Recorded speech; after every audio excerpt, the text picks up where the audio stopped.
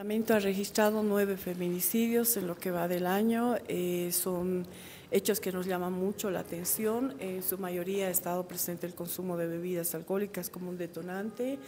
Eh, las muertes se han eh, materializado de diferentes formas, en algunos casos con armas de fuego, se ha utilizado cuchillos, golpes, una serie de instrumentos para quitarle la vida a las mujeres.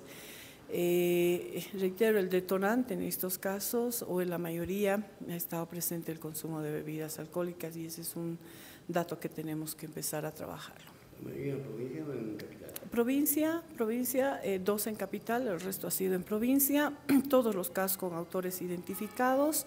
Eh, los casos anteriores al 2023 ya todos con sentencia, no existe un caso que se haya dejado en la impunidad y los casos de la gestión 2023 ya están en etapa de juicio, salvo uno que se encuentra en etapa preparatoria. Es decir, el Ministerio Público a través de la Fiscalía Especializada de Delitos en eh, Razón de Vida eh, están, está activando todos los mecanismos para sancionar este tipo de hechos. ¿no?